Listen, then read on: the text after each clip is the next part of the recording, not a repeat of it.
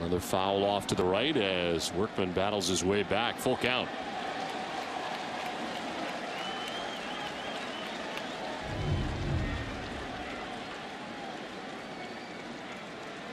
Nice grab on the backhand.